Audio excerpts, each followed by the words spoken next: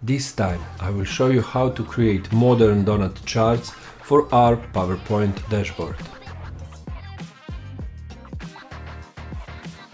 Hello, my name is Skendza and let's have some donuts.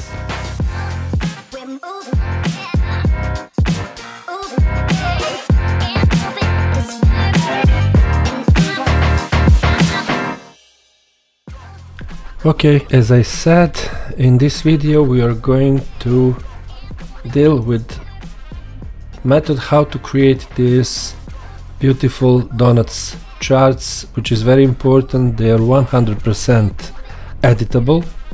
Uh, you will see how. And um, in my opinion they are pretty good good good looking. Like you will to edit them you will spend no more than 30 seconds let me show you how to do that. Really really piece of cake.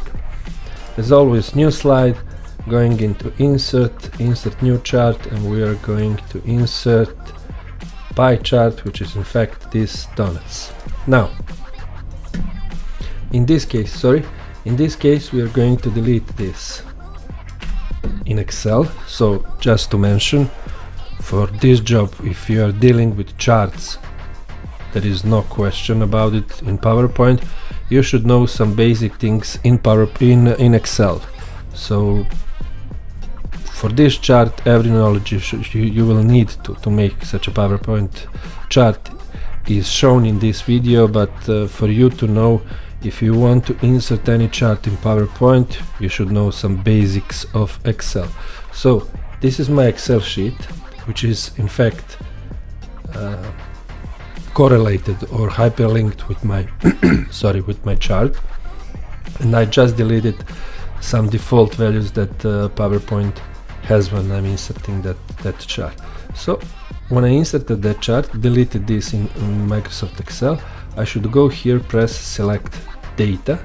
Then this is something that PowerPoint gave me as uh, default value. I will just remove it and then press add. In add I will type background background or whatever you want and this is very important part. After this uh, number one in these brackets I will type 20 number ones 20 of them separated with commas. So comma 1 comma 3 comma 4 comma 5 etc up to 20 uh, let me see. 1 2 3 4 5 6 7 10 so this is 20 now I have 20 ones and I've got something like this. I will just delete this legend. Then here so this is my second A2 I will type type data here as a, as a title for my I will type fill and here I will type automatic. And then I will type in Excel a simple formula. For example if my value for this chart is 45 uh, 65 percent then the rest of the chart should be showing 100% minus 65 then formula should be this one this cell is equal 1 as 100% minus this. So you see it is 35% and then again I will go to select data menu. Here I will say add something. Then series name will be data and here series value I will delete these values. And then I will select with my mouse this and this. So again I will delete everything. I will say my I will say my series name value is my data. And here sorry series values are this number holding shift and pressing right arrow and this number. And what I got? I got something that looked like this. So this is all the job you have to do in Excel. Now we should deal with a look of this chart. So we are going to make this chart looks like this one here. How to do that? Again very very simple. First of all these 20 shapes will be our, our background and this would be our front look and feel of our chart. So to do this first of all we should make our background in a blue color. I will choose this blue yeah without any line. And then going into into design because when I selected this chart I should go into design and then go into change chart type. So here you can automatically change your chart you have already set but there is very very interesting option combo charts. Combo charts are made to add secondary axis so we do not need this clustered column we need here donut and the other data to be donut. By checking one of these you are putting your data in front of in front of the the other one. So for example if you check this data to be on secondary axis these values will be shown when you press or check this box. Then your background will be will be in front. For now we are going to check that on our secondary axis is background. Why? Because we are going to edit this background. How we are going to edit this background? For example press your background right click and go to format data series. Here you have your fill options your special effects options and your series options. You should select series options and then you should make your donut hole size bigger. Like this you, you see how behind this background is appearing something which is behind which is our data so we are going to make the, this donut hole size bigger. And then we are going to make make donut explosion a bit just a bit. There it is.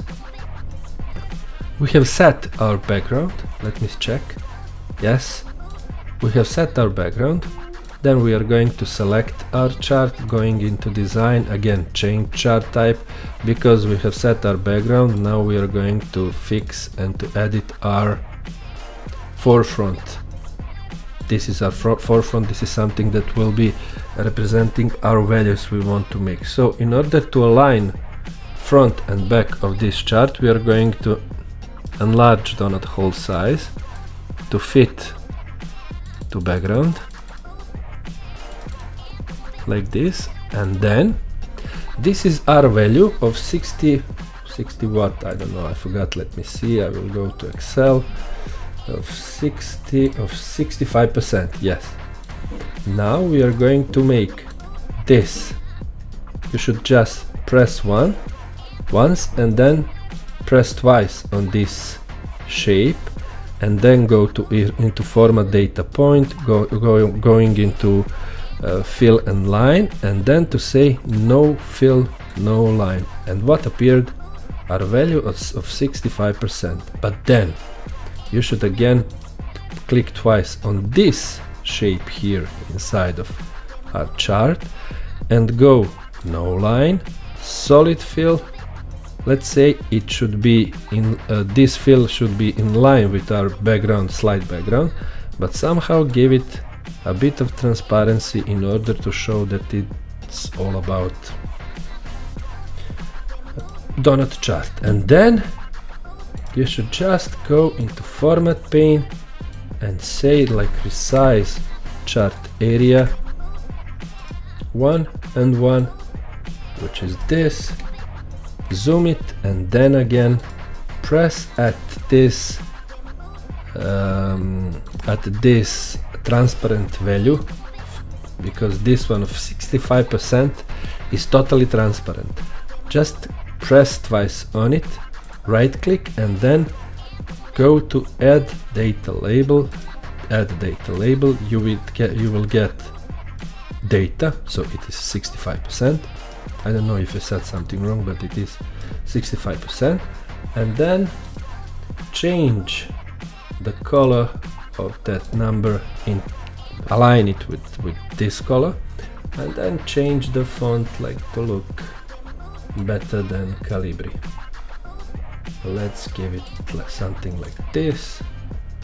It's automatically changed like back again into some let's take this color. Okay. And put it at the center of this chart somehow. Is it? Not it. Now it, it is. Let's look how. Yeah that's it. We have set our first chart then what to do with the rest of them? Just copy and paste them two times. Put them here and then you should go to second chart right click edit data edit data in excel and then go and type your value here. I don't know what would be your value eh, maybe 89% and when you type 89% this formula will automatically calculate it, uh, this the rest of, of the chart. Somehow PowerPoint is moving these numbers across the, the space but it's very easily to, to fix them back. And then go here zoom it again right click edit data edit data in excel and then type here i don't know 45% is value this is this is fixed. So in order to align these charts just select them as objects go to format go to align distribute horizontally distribute vertically. Not good. Let's try with centering. Yes it is good. And then let's try to put them in this space. Let me see is it okay? It is okay.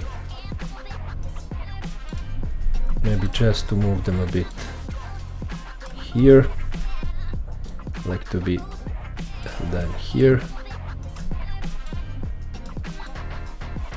Like this then select them. And then again format. Aligning them vertically horizontally. Let's see what we have. Guys this is it the beauty of this chart is that you can use it in every project where you have to, to showcase some data or some shares something which is uh, which should be uh, represented in percents. And this chart is always a good option because it looks very very uh, attractive very very modern very very cool. Again you, you could play with with sizes numbers with uh, colors with, with everything that would be it for this time. Uh, if you like this video of course please share it. Please subscribe to my channel. Like it as I said send me some recommendations and your opinion. I would take it seriously and try to make new videos about your questions or suggestions. That would be it for this time. Uh, see you next time and cheers. Bye